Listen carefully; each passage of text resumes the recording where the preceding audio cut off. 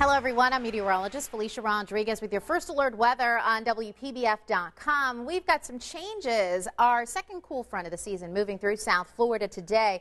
That's going to help to cool us off and dry us out for the weekend. Taking a look at the water vapor imagery gives us a pretty good indication of how much moisture is in the atmosphere, and all that orange shading indicates drier air. That's going to help to lower dew points as well as humidity levels across South Florida. So instead of highs near 90 like we've been experiencing, we're going to see temperatures in the mid 80s. 84 today for Belle Glade, 85 for West Palm and Jupiter. Also 85 for Hobe Sound and Stuart, and 86 for Okeechobee and Port St. Lucie. Tonight you'll feel the difference with temperatures dropping into the 60s for much of the Treasure Coast. 65 your low for Belle Glade, out in Wellington, too. 68 for you.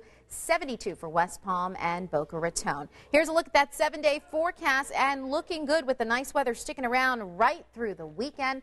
Mostly sunny and breezy both Saturday and Sunday, a high of about 84 degrees, but the showers return early next week. That's your first alert weather on WPBF.com.